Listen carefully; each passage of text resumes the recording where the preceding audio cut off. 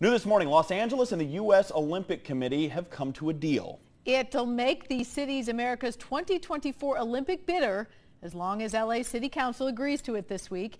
Now, this is according to the Associated Press, and last month the Olympic Committee scrapped plans to actually make Boston the bid city.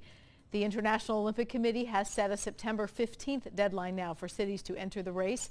They will pick that host city officially in 2017.